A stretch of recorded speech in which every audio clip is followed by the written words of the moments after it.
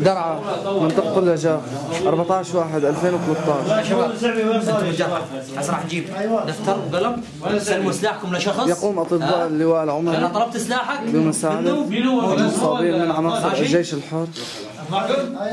شاب منكم شاب من نفسه الذين كانوا متواجدين في محافظة السويداء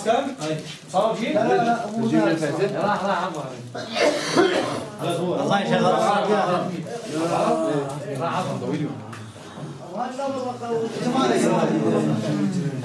Tamam.